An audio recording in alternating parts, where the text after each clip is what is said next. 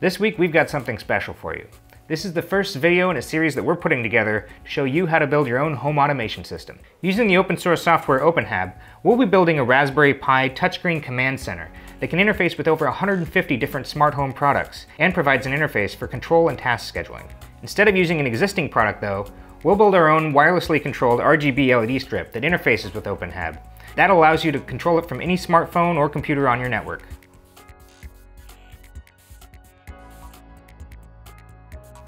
OpenHab is great because it interfaces with so many products. It's free, it's open source, and it's incredibly versatile.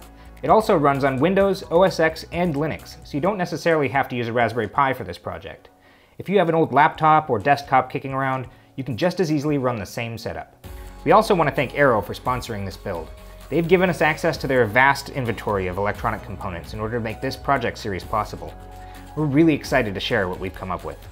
The main parts for this build are a Raspberry Pi and touchscreen, as well as the components used to control the NeoPixel strip. You can purchase the components from Arrow or other online electronics vendors. You'll also need a few tools for soldering and programming the microcontroller. Begin by assembling the Raspberry Pi touchscreen and mounting it to the Pi. Then download the latest build of Raspbian from the Raspberry Pi website and flash it onto an SD card. Plug in a keyboard and Wi-Fi adapter, then insert the card into the Pi and boot it up. Go through the configuration process for your setup. In order to get the touchscreen to work, you'll likely need to run a few commands in the command line to update Raspbian. After the update, restarting the Pi will flip the screen upside down. If that's a bother to you, you can flip it back by adding the line lcd underscore rotate equals 2 to the config.txt file in the boot folder. Now it's time to install our home automation control software, OpenHab, and the associated OpenHab add-ons we'll be using. This gets a little command line heavy, so for a full list of commands, click on the link to the project instructions in the description below. Since the communication between our OpenHab server and our lights will occur over a messaging protocol called MQTT, we'll need to install Mosquitto, an MQTT broker. Finally, download our pre-made OpenHab configuration files and install them in the associated OpenHab folders. With OpenHab set up on a Raspberry Pi, it's time to switch to building our NeoPixel strip controller. The cheap Wi-Fi enabled Adafruit ESP8266 Huzzah board is perfect for this. But because it uses 3.3 volt logic level instead of the NeoPixel strip's 5 volts, We'll need to solder a logic level converter between them. Before we start that though, solder the provided header pins to the board so we can program it using an FTDI adapter. Now, on the low level side of the converter, pin 2 from the ESP will connect to A1, pin 3 to LV, and ground to ground.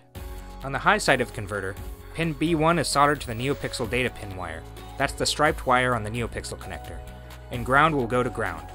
Solder a red wire to the HV pin on the converter, and another red wire to the V Plus on the ESP.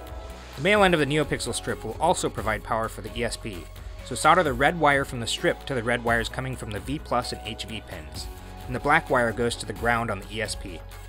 After that, plug the NeoPixel strip into the wall with the provided cord, and make sure that the ESP is getting power by hitting the reset button to see if the onboard LED flashes. With everything wired up, it's time to flash the ESP using the Arduino IDE. Take a moment to install the boards and libraries by following the links in the description, and then open the provided Arduino sketch. Then edit the sketch to include your Wi-Fi network settings and the Pi's IP address. You can check your Pi's IP address by typing IP space ADDR space show into the command line.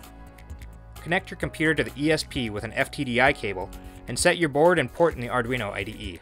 Put the ESP into programming mode by holding the GPIO 0 button down and pressing the reset button then upload your code. After it's flashed, open the serial monitor and make sure that the board connects to your Wi-Fi network successfully. With OpenHab configured and our NeoPixel strip on the network, it's time to test it out. Download the OpenHab app to your phone or tablet. It's available for both Android and iOS. Then open it and select Settings in the upper right corner. Change the OpenHab URL field to your Pi's IP address, followed by a colon and 8080. Exit the menu, and your phone should connect to OpenHab, bringing up your LED controller. Alternatively, you can also control the LEDs from any computer on the same network, including the Pi, by entering the Pi's IP address, followed by slash openhab.app, question mark, sitemap equals home. I know, a lot of you are probably thinking that there are a lot easier ways to control RGB LED strips wirelessly, but there's a reason we decided to do it this way. OpenHab is extremely versatile and we've only just scratched the surface of the things you can do with it. You can control things with voice commands, monitor sensor networks, and even set up rules for automating devices from email or IFTTT events. In future videos, we'll show you how to build other cool devices that connect to OpenHab and make your house even smarter. That's it for this time. We'll see you in the next weekend project. If you liked this video, subscribe to our channel or send us a comment on Facebook or Twitter. Be sure to check out our other project videos or visit us on MakeZine.com.